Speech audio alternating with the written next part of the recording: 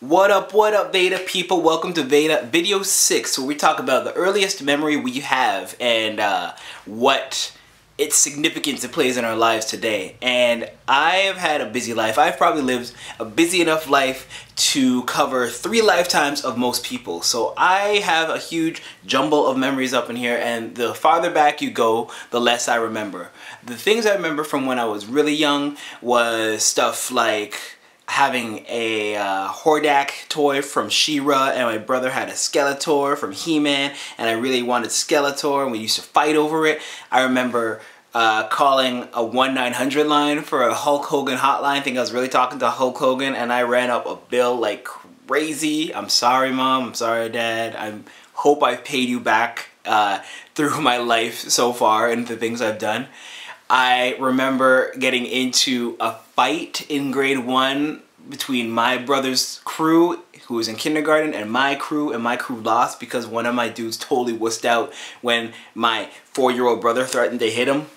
Like, dude, you're six, take him, you know? Uh, I remember, I don't, I think those are some of my most significant oh no there was also the time uh, when we were drawing in uh, kindergarten we were drawing old MacDonald and I remember this girl asking me if it was okay that we drew old MacDonald with three fingers because I had drawn him with three fingers I was like whatever it's like we're just drawing.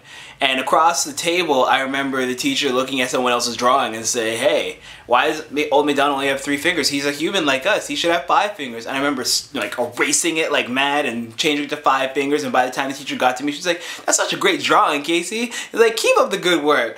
I have been shisty since day one. It's horrible. I'm sorry.